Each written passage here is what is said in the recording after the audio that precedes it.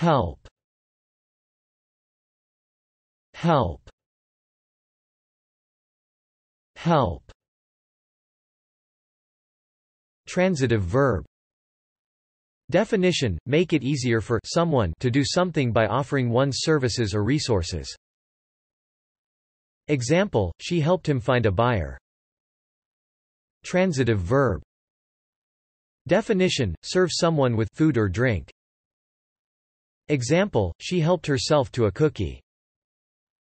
Transitive verb Definition, cannot or could not avoid. Example, he could not help laughing. Noun Definition, the action of helping someone to do something, assistance. Example, I asked for help from my neighbors. Exclamation Definition, used as an appeal for urgent assistance. Example, help. I'm drowning. Thanks for watching this video.